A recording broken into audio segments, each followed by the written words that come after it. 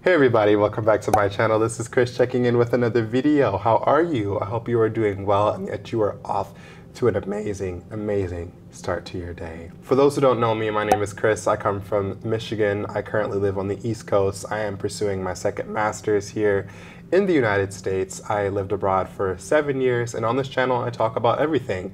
China, Germany, the United States, Mexico, languages. I speak six languages. I also talk about identity. I talk about culture. I review culture, and that is exactly what I'm going to be doing in this video. So if you find any of these topics interesting, if they pique your interest, please consider hitting the subscribe button, activating the notification button so that you are notified when I upload videos, which is rather frequently, and consider joining the community.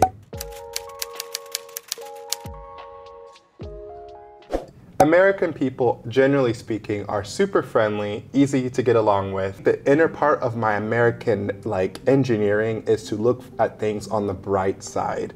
And I think a society in which people look at things on the bright side usually is a good thing. Americans are critical, we're very critical, but I think we're optimistically critical. When I was living in Europe, there was this notion of accepted uh, pessimism. In America, there's always something on the bright side, right? That has its pros and cons, but you know, I think it just makes my day a lot more sweeter. What do you guys think? Do you guys think Americans are, you know, superficial in our projected happiness. Do you think living in a society where people typically look at things on the bright side, energetic, gregarious happiness is a good place to live in, or you prefer to people that leave you alone, a little bit more distant, etc.? Limitless opportunities. The world is your oyster in this country. It, it, could be the silliest idea. There's someone in this country that would be willing to invest in you. America still is the land of opportunity. If you have a brand, if you have a passion, you can make it. You really can make it. You could become very, very, very, very, very successful in this country. There are no caps. I really didn't get that feeling when I was in like Germany or when I was in China rather. I felt like you know, there was a cap. As a foreigner, more specifically, there was a cap. I really did love living in these different countries, but I really felt like I was stagnated. I was very much stagnated professionally, and right now I'm in a point of my life where I feel like I have a lot that I can grow in and accomplish. And so that's why I came to this market. What are you guys' opinion? What do you guys think of the United States? Do you think it's the land of opportunity? How do promotions and success look in your country in terms of opportunities. If I was a foreigner coming to your country, how is it that I would go about acquiring opportunities? If you occupy a lower stratum of like the social network, you know, it's hard, but there's optimism in that. People are like, I'm gonna make it. Like, I'm going to make it. There's no other way. You know, I'm going to make my dreams come true. I'm going to work hard. I really feel it. You know, people are really dedicated. People are very, very hardworking.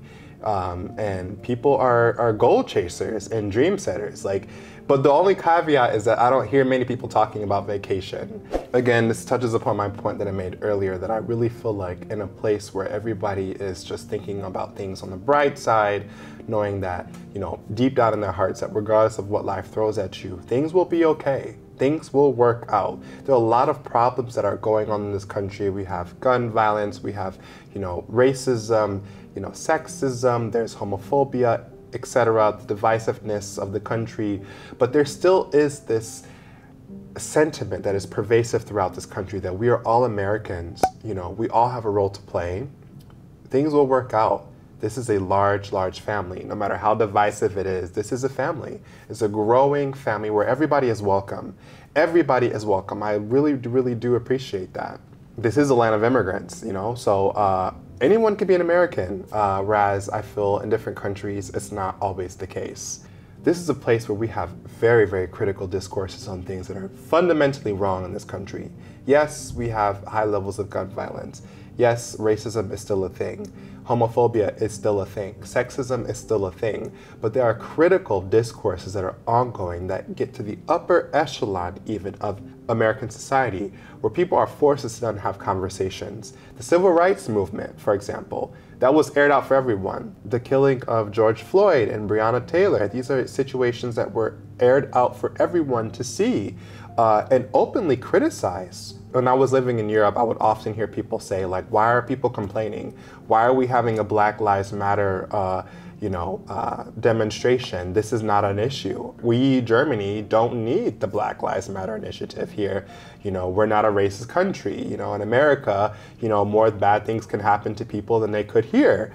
In various parts of Europe, for example, in England, in Italy, and other countries, you have people going to football stadiums throwing bananas at people, calling people monkeys, right? Calling people of color monkeys, throwing bananas at them. In the United States, you would be eviscerated for that, literally eviscerated for that. I feel like America willing to engage in these critical discourses and, and you know, air out his dirty laundry, if you will, has led to a progressiveness in countering racism, actually. And many people would say, oh, like this is the only issue that happens in America. And my pushback always is just because the United States has developed to a point where we can have critical discourses on race, and you haven't, it doesn't mean that your country is any less racist. Okay, folks, another thing that I actually really like about America is American small talk. At first, I had to really get adjusted to it when I came back, like this reverse culture shock of Americans just talking to me, you know, just constantly, and I'm like, I don't really want to talk to you, like, I just want to go, like, I just came to get one thing. But at the same time, I really feel like small talk is necessary in a country like the United States that is not, uh, it's like not a homogeneous society. In different countries, so for example, Northern Europe or other countries, I feel like small talk is less necessary because there's more commonality. There's a lot of commonality based on similar cultural uh, aspects. Whereas in the United States, small talk is sometimes necessary to fill out the commonalities. You know, you test the ground when you meet people, and the way we do that is through small talk. And that's not that doesn't go to say that everybody likes small talk. I mean, I live on the East Coast, and I think people do less small talk than I do here. It's exhausting. Sometimes you really don't want to have small talk. You know, you're just going into your apartment and the door person wants to have a long conversation with you and it's like no i just want to go home. I had a long day at work. Just let me go up the stairs please. So sometimes it does get annoying but it's, it's good. I, I like it though. I feel like it, you know it's beautiful to have small talk. What do you guys think?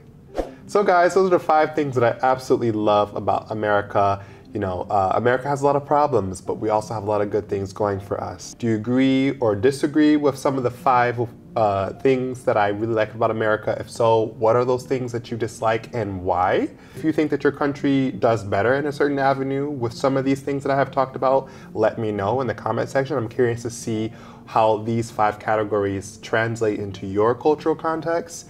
And yeah, let's have a discussion. Uh, comment, like, subscribe, share this video if you care, and I'll see you next time. Ciao!